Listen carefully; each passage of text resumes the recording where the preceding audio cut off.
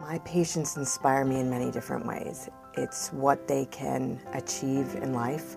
They don't have their disease hold them back. Children are very resilient, and that's why I love working with children.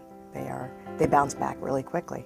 First of all, treat uh, children of various ages with a variety of gastrointestinal conditions, and they may be as simple as a baby with reflux, poor weight gain, um, GI problems, inflammatory bowel disease, and um, liver disease as well.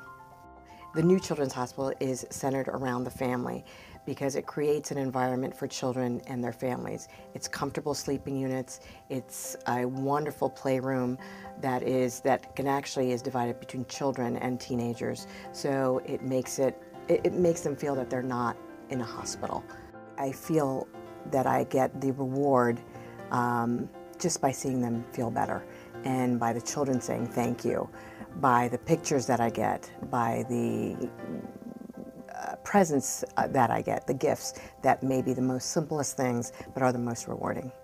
I have dolls, I have teddy bears that are that are doctors with my name on it. Um, I get wands, that my magic wand. So I have a what's called a cheer up envelope where I put all my cards, pictures, and letters from families. My relationship with the kids are um, pretty strong, and we follow them throughout the years. Um, from the time they're very young, and it could be elementary school age all the way up to adolescence till the time they go to college. What I feel um, when I see a child feeling better and the family feeling better is a sense of, of worth that I did something right. Um, there is nothing greater than that.